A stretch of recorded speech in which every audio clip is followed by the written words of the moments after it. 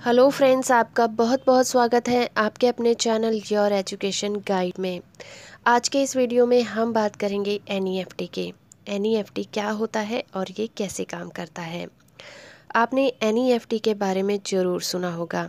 अगर आप internet banking का इस्तेमाल करते हैं तो आप इस टर्म से अच्छी तरह से वाकिफ़ होंगे। अगर आप एन e क्या है और कैसे काम करता है नहीं जानते हैं तो आज की इस वीडियो में मैं आपको बताऊँगी कि ये क्या होता है और ये कैसे काम करता है। असल में एन e का पूरा नाम है नेशनल इलेक्ट्रॉनिक फ़ंड ट्रांसफ़र और ये एक ऐसा तरीका है जो किसी भी बैंक के ज़रिए से किसी दूसरे बैंक में खाता धारक को पैसे भेजने का काम करता है। ये सुविधा नवंबर 2005 को शुरू की गई थी। और आज के समय में करीब करीब हर नेशनल स्तर पर बैंक में इस सुविधा का लाभ आप उठा सकते हैं। आरबीआई ने बैंक के एक खाते से दूसरे खाते में पैसे के इलेक्ट्रॉनिक ट्रांसफ़र के लिए दो ऑप्शन दिए हुए हैं। ये हैं एनईएफटी यानी कि नेशनल इलेक्ट्रॉनिक फ़ंड ट्रांसफ़र और आरटीजीएस यानी कि रियल टाइम क्रॉस सेटलमेंट ये ट्रांसफ़र इंटरनेट बैंकिंग फैसिलिटी के ज़रिए किए जा सकते हैं।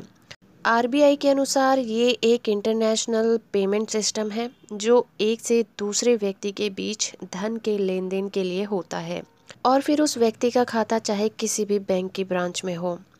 एनईएफटी एक बहुत ज़्यादा प्रचलित तरीका है, जिसके ज़रिए आप किसी भी ग्राहक को या फिर अपने क्लाइंट को बहुत ही कम समय में इलेक्ट्रॉनिक पेमेंट के ज़रिए से ट्रांसफ़र कर सकते हैं।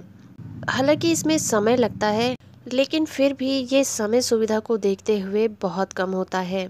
ये आरटीजीएस से एकदम अलग होता है, क्योंकि आरटीजीएस से पैसे ट्रांसफ़र रियल टाइम में होता है।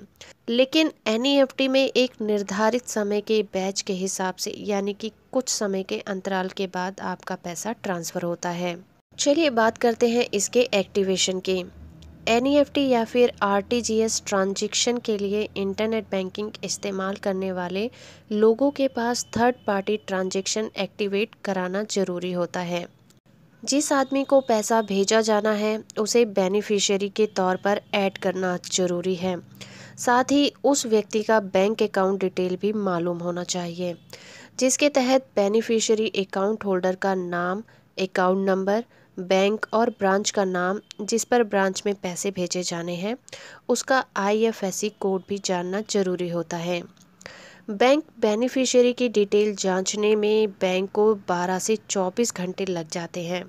ये जाँच पूरी हो जाने के बाद नया बेनिफिशियरी एक्टिवेट हो जाता है और फंड से रिलेटेड अकाउंट में ट्रांसफ़र कर दिया जाता है। चलिए जानते हैं किस तरह से आपको ट्रांसफ़र करना है। सबसे पहले आपको ट्रांसफ़र ऑप्शन का चुनाव करना है। उसके बाद बेनिफिशियरी का नाम अमाउंट और ट्रांसफ़र का ब्यौरा पेश करना है। डिटेल और सिक्योरिटी ट्रांजेक्शन पासवर्ड देने के बाद ट्रांसफ़र की प्रोसेसिंग हो जाती है। डिटेल और सिक्योरिटी ट्रांजेक्शन पासवर्ड देने के बाद ट्रांसफ़र की प्रोसेसिंग हो जाती है।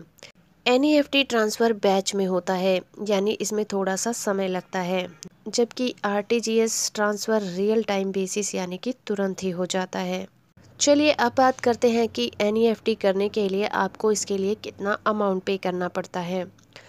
एन के लिए हर बैंक निर्धारित शुल्क लेता है, जैसे कि दस हज़ार अमाउंट के लिए ढाई रुपये प्लस सर्विस टैक्स दस हज़ार से ज़्यादा और एक लाख तक के अमाउंट के लिए पाँच रुपये और प्लस सर्विस टैक्स इसके अलावा एक लाख रुपए से ज़्यादा और दो लाख रुपए तक के अमाउंट के लिए पंद्रह रुपये प्लस सर्विस टैक्स इसी तरह दो लाख से ज़्यादा अमाउंट के लिए पच्चीस रुपये प्लस सर्विस टैक्स पे करना होता है।